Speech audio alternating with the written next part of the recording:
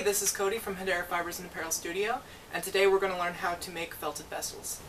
So if you haven't gone through the basic tutorial and don't know how to felt, I would recommend watching our, uh, our other videos first before you get to this one because there's a build-up between flat felting to felting a little bit of form and texture and then doing form as well. Um, so a vessel starts out actually as a flat resist surface. I prefer to use uh, frosted mylar as a resist.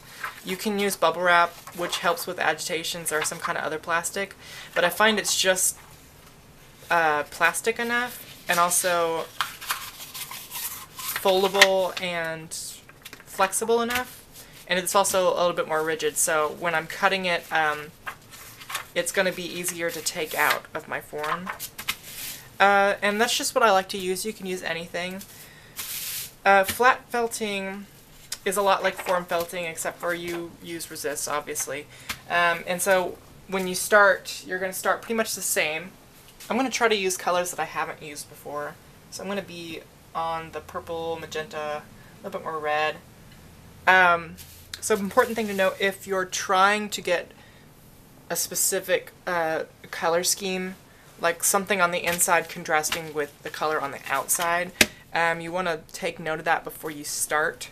When I do forms and textures, uh, I always think about what's going to be showing up on the inside of the form uh, that's going to contrast with what's going on the outside of the form. So uh, when I begin, I begin exactly like flat felting, where I, in, and this one's a little curled up here, when I first start, I'm going to lay really thin sheets in opposite directions of each other. Now it's going to start out exactly like flat felting. I'm only going to do one side at a time.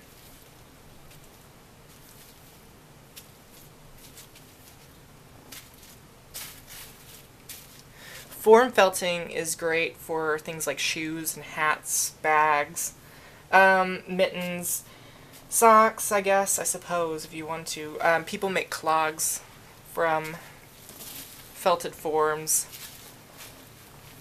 It's a nice way to work sculpturally, uh, whereas if you work flat with flat sheets, you're going to um, have a harder time building it up. You're going to have to sew them together, or uh, needle felt them together, I suppose. And uh, this works a lot better when you're thinking about a form that you want to be seamless.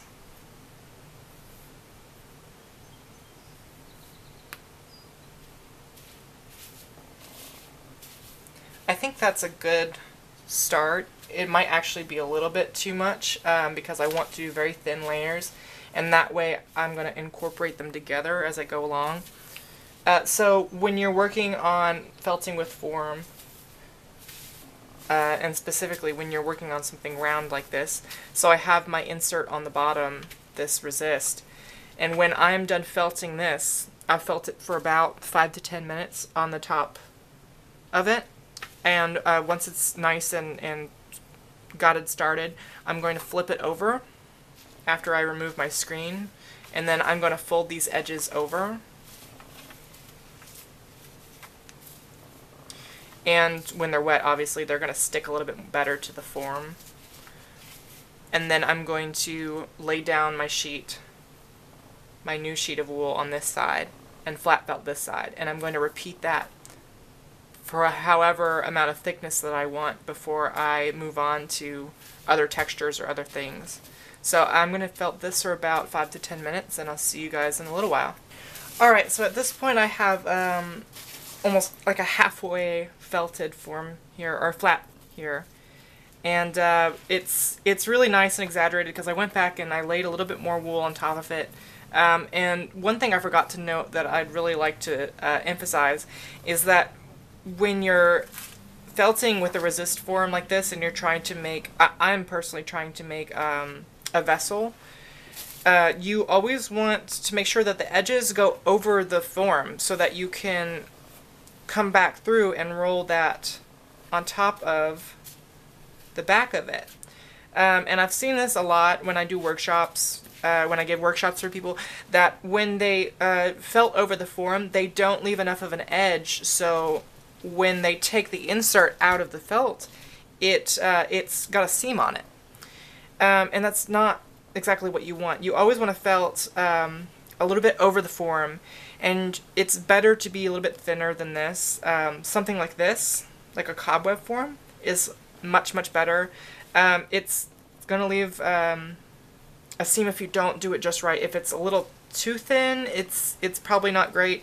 If it's about this thickness, where I can just see my fingers through it, that's perfect.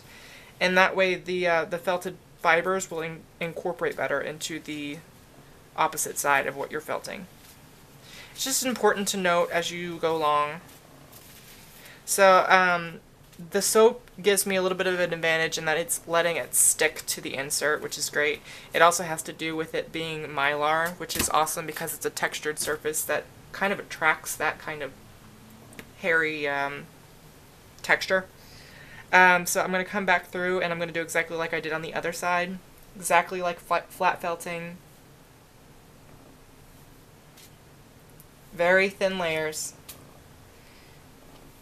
the idea um, and the reason why we use thin layers instead of thick layers is um, yes, thick layers will felt faster, but um, thin layers will felt better. You're going to get a much nicer, much smoother uh, transition between things. You're not going to have chunky little blotches everywhere. It's going to be very uniform and nice. Everything's going to incorporate well with itself. And that is why we do thin layers. It also gives a nice effect for um, color. Like uh, if you watched our last video on texture, um, the overlaying the colors in really thin sheets allowed it to gradate from one color to the next color very easily. I, I want to continue to push um, the boundaries of what you know in felt the further we go along in these videos. Um, so I'm probably going to do a little bit more extra in this one with um, playing around with more textures. And uh, instead of the textures being all about the fiber that I incorporate, I'm going to go ahead and um, show you something new.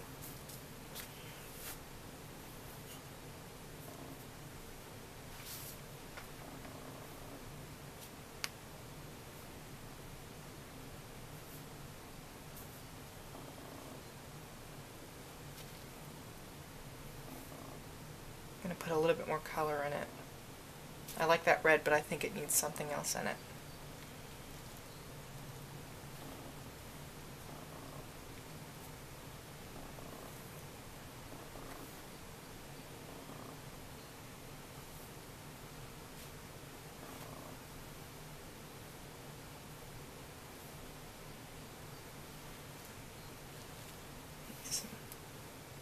dark color too.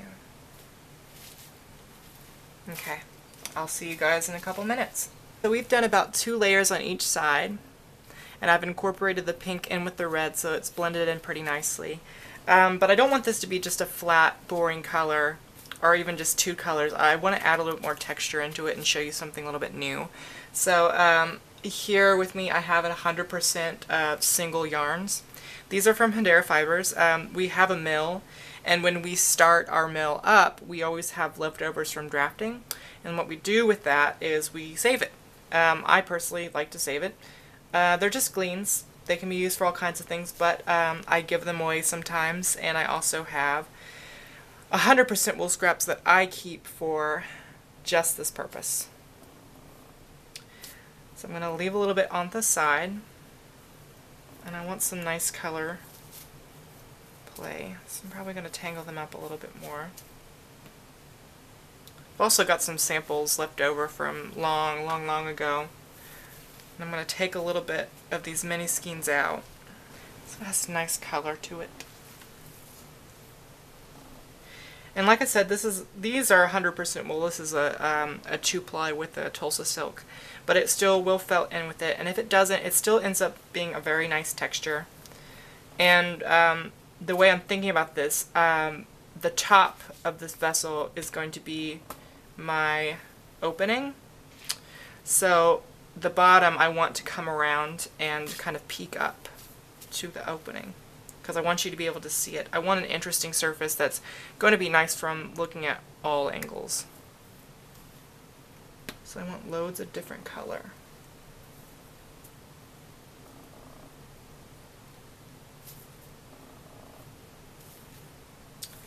So after I incorporate the yarn, I want to spread it out a little bit so um, that when I start with my roving, um, I'm going to have some room to let it come back down into the form itself. Um, and I think this time I'm going to go over with a little bit of this bright yellow uh, and dark brown. And just little pops and that'll be all in preparation for what our final uh, texture will be, which I'm going to show you after I'm done felting this. So I've actually, I've flipped this over and I've already folded over all the yarn onto the other side. And um, it's at this point I realized I should have mentioned that uh, as you get chunkier, um, as your layers build up, you're probably going to want to switch from just a paper bag um, to a little something more agitating.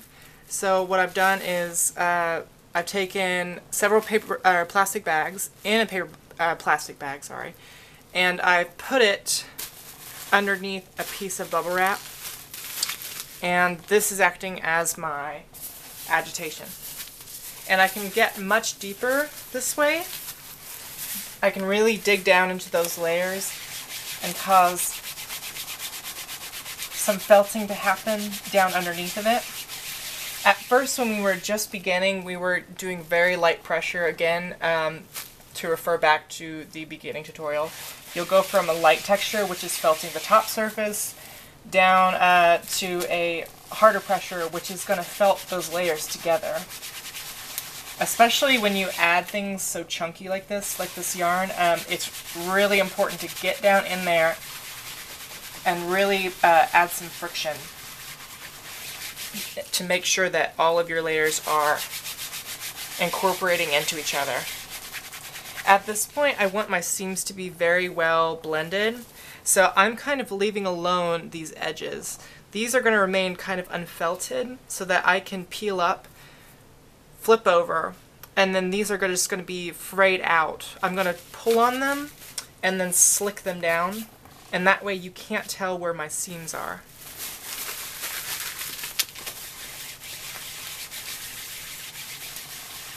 So now that I've felted down all my yarn, I want an extra texture. Um, I, if you remember correctly and you've been following along with the videos, uh, this was the insert that I used last time for uh, the flat fold when I added the lily in.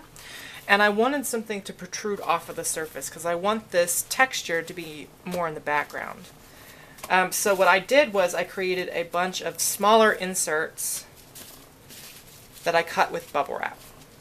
Um, and so I cut them with bubble wrap for a specific, specific reason. You can use frosted mylar, but unfortunately the frosted mylar is not always easy, and I know from experience doing workshops to find and take out when you're done with your form.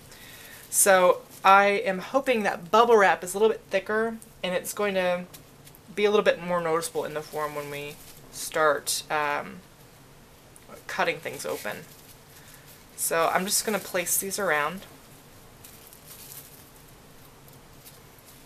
Some really good artists to think of when you're thinking about texture and felt. Um, one is Margaret Wertheim, who uses uh, Margaret Wertheim and then Diana Taimina.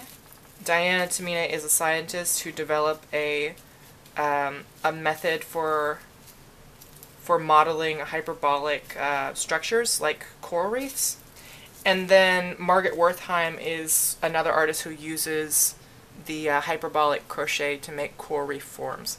Um, you might also, there's another one, and I'll post her name down at the bottom, who does really in-depth uh, felted textures. So this looks good. I might actually put a little bit, maybe one more in there just to get some more interesting, because I want to save some of this color in here. And I'm thinking of breaking up this seam on the outside and that way it looks more intentional if I should have something that's a little bit thinner.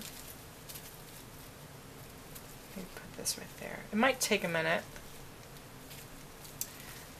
So what I'm going to do now is I'm going to go ahead and lay over my my felt, uh, my next layer of wool, just like we did the lily pad, but this time I'm going to cover the whole thing. I'm not going to just put it in the center here. Um, I'm going to cover the whole thing so that it's a complete layer. And that way, um, when we're ready to cut open the form and make this a felted vessel, I'm going to come back through with my scissors and I'm going to cut out this design.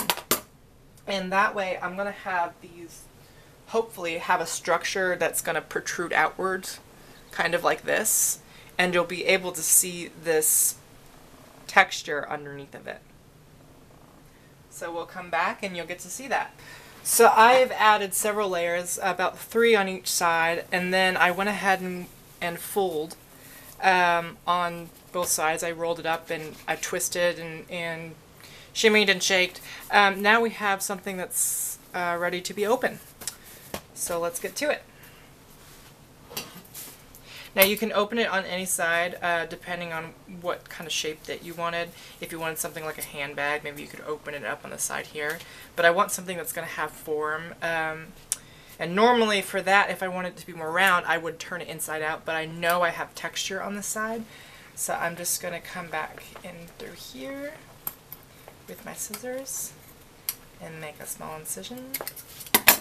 I try to make it small These layers aren't quite felted together. I try to make it small because I can open it up and that way it doesn't look like I cut a hole in it. Uh, it's important to do this before you wash it out, before you do your shock baths, because the soap, again, is the vehicle, and it's going to help those fibers slip around. Now, I am just going around in a circle to open up this hole a little bit so that I have something that's stretched out. It doesn't look like I cut a hole in it. Just stretching out the fibers. You can see it's fairly thick. Now all the layers uh, are not quite felted together and I can tell that because I can pull the part here and cut an opening here which is not quite what I wanted. I might go back and felt a little bit more before I take anything out. Just do a really good thorough felt. I'm not concerned about the surface because I know that the surface is felted and it's not going to move around on me. I'll just go back and fold it a little bit more before I open it up anymore. Alright, so now that I've cut it open and I've folded a little bit more, I actually used a technique um, not like the one that I showed before in the basic felting tutorial. What I did was I rolled my work up onto a cardboard um, roll. Let me see if I can find one.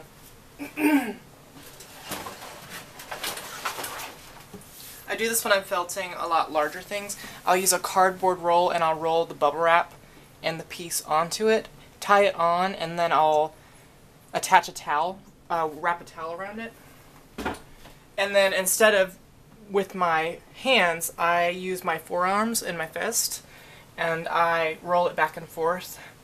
And that's uh, the agitation that's causing all these layers to like felt together.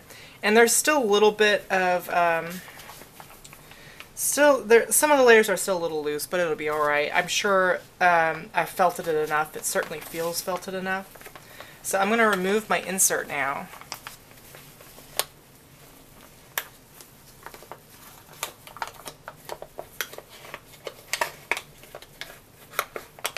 Now bubble wrap is certainly going to be harder or easier to remove, but it's not as uh, firm, and the firmness helps it felt. So now we have a form that is open, but if you remember, we have the bubble wrap to remove.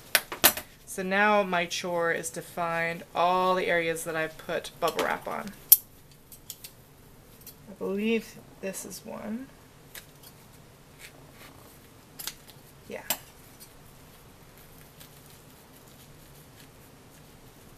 So now I'm going to go around and cut out all the bubble wrap stencils that I used. And I'll see you in a little while. So I'm done cutting my inserts out. Um, I can't say that I really care for the way it looks. I do like the forms that happened though and the textures that happens and that was really the goal of today.